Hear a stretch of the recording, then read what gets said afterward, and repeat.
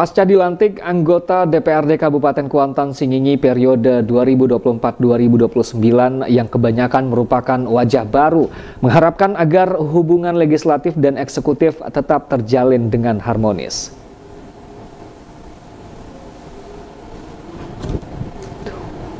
DPRD Kabupaten Kuansing telah menggelar paripurna pelantikan anggota Dewan terpilih masa jabatan 2024-2029 pada Senin lalu.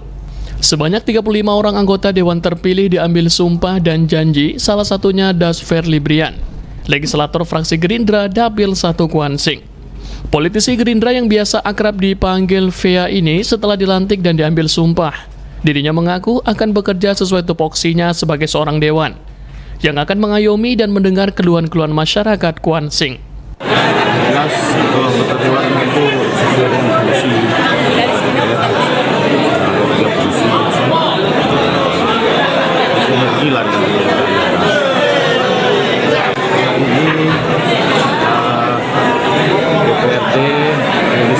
uh, bisa aman dan nyaman pembangunan.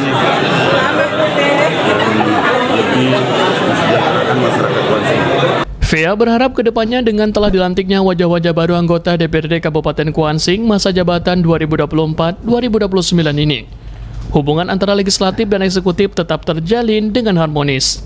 Dari Kabupaten Kuantan Singingi Devendrawan melaporkan.